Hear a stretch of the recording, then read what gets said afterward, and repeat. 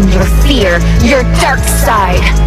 I am the nightmare from which you have never escaped in all these years. Standing before me, you are nothing!